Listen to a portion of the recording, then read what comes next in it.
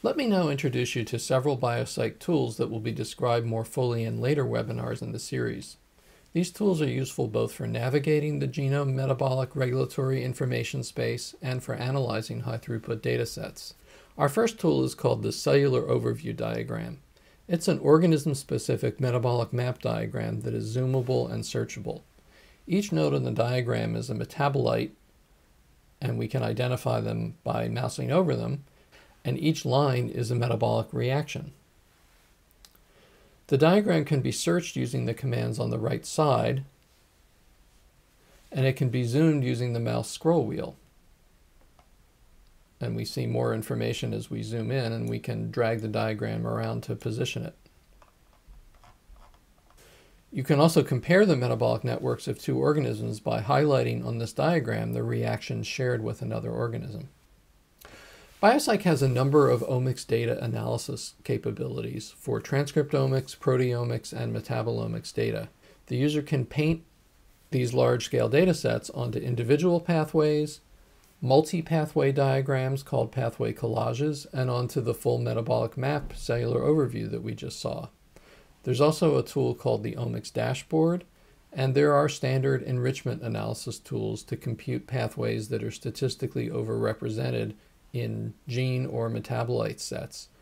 Uh, it will also compute overrepresented GO terms and overrepresented regulators. This diagram shows gene expression data painted onto a single pathway. We can also paint omics data onto the cellular overview diagram. In this case, we're painting a transcriptomics data set onto the E. coli cellular overview diagram. And you may notice that this is an animated display in which we're watching the progression across six different time points during the shift from anaerobic to aerobic growth.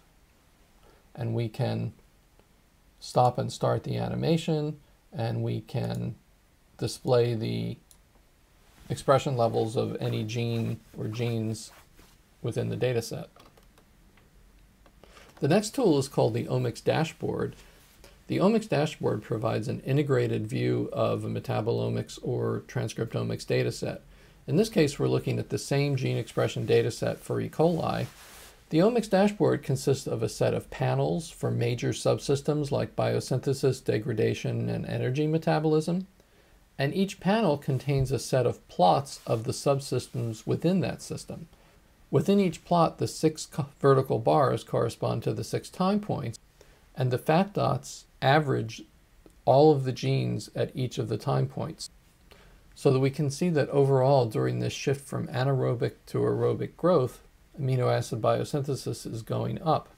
Now, if we want to see more detail about one of those subsystems, we simply click on that plot and we now get the same style of display for each of the individual amino acid biosynthetic pathways.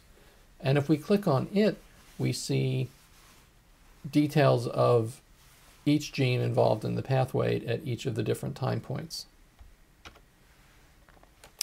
Another tool within BioCyc is called Smart Tables, which allows the user to collect and save lists of database objects, such as lists of genes, metabolites, or pathways, or sequence regions.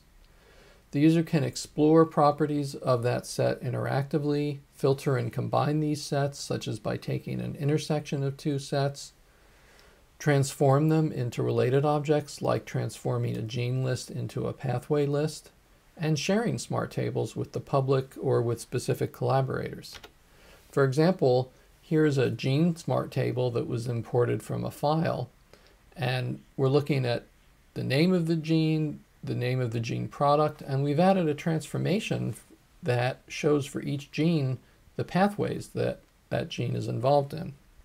Here's another GeneSmart table, but in this case we're looking at the accession number for each gene, its start and end position within the genome, and the DNA sequence of the gene. Here's a smart table for metabolites, in which we're looking at metabolite name, smile string, and the structure of the metabolite. And in the next webinar in the series, you'll learn how to search BioCyc.